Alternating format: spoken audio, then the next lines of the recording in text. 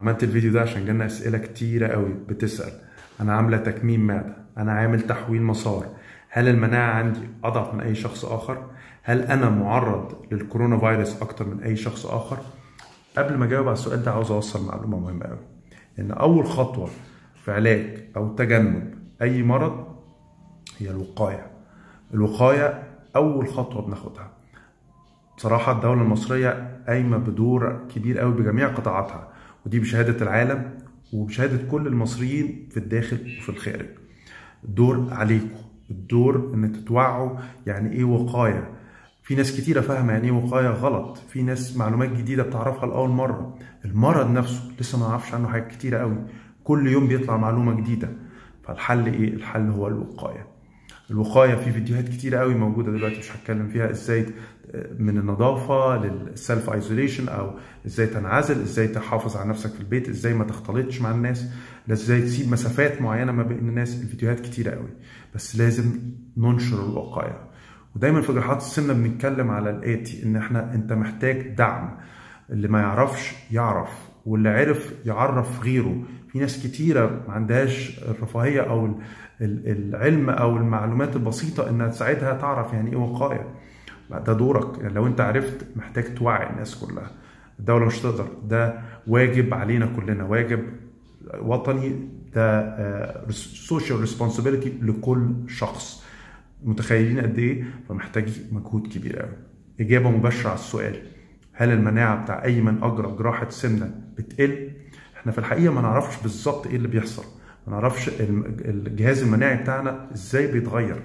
ولكن عندنا أبحاث كتيرة قوي أثبتت الآتي إن السمنة نفسها بتضعف المناعة لدرجة إن في بعض الثيريز أو يعني الأبحاث بتشير إن من أسباب كثرة الأورام في السمنة هي نقص المناعة لأن في خلايا زي خلايا اسمها natural natural killer cell خلايا من الخلايا الدم البيضاء اللي هي مسؤولة عن المناعة بتاعتنا هي المسؤولة إنها تحارب أي فيروس أو أي بكتيريا أو حتى لو أي بداية ورم هي اللي بتدمر الورم. المناعة مش بس ضد الميكروبات المناعة بتمنع أورام. فلقوا إن السمنة نفسها المناعة بتبقى أقل.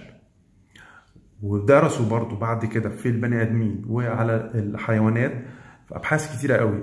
ال NK cells دي أو ال natural killer cells هل بتتحسن بعد العملية؟ هل المناعة بتزيد؟ لا بتتحسن. ده بالعكس كمان. في أمراض فيها زيادة في المناعة زي الصدفية زي أمراض كتير قوي. لقوا إن بعد جراحات السمنه بتتحسن. فحتى لما تكون المناعه زيادة بترجع للليفل الطبيعي. المناعة زياده دي مش حاجة كويسة.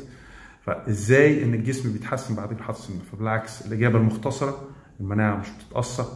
ولكن أي حد لسه أجرى عملية في الفترة الأولى اللي بعد العملية في خلال الأسابيع الأولى أو الشهور الأولى ده ضغط على الجسم فالمناعة بتبقى الجسم بيبقى منهك في في النقاهة والالتئام وال stress نفسه stress الحياة بيقلل المناعة فما بالك stress عملية. فالفترة الأولانية المناعة بتاعت أي شخص أي عملية ممكن تبقى أقل ممكن مش شرط بس لازم نخلي بالنا. لكن لو أنت أجريت العملية من فترة وفقدت الوزن بالعكس الأبحاث بتشير إن مناعتك إن كانت اتحسنت إن كانت ضعيفة وبقت أحسن. كمان للأسف لاحظنا إن جزء كبير من اللي توفوا من مرض الكورونا فيروس كانوا بيعانوا من السمنة. فده بيأكد الأبحاث اللي اتكلمت عليها إن السمنة بتضعف المناعه وبتأكد إجابة السؤال إن هل جراحات السمنة بتقلل المناعه بالعكس هي بتحسنها هننسى كل حاجة وهنتكلم في الوقاية. الفيديو ده social responsibility مني إن أنا أوعي الناس. أنت كمان عليك دور توعي غيرك عيلتك أصحابك. بالذات بالذات الأشخاص اللي هم صعب عليهم يبقى عندهم المعلومات دي ما عندهمش البريفليج إن هم يسمعوا الفيديوهات أو يشوفوا أو يقروا أو يشوفوا في الأخبار. فدورك تساعد الناس دي. وأنا في رأيي ده فيصل كبير قوي في مواجهتنا لمرض الكورونا فيروس. يا رب يحمينا كلنا يا رب يحمي مصر.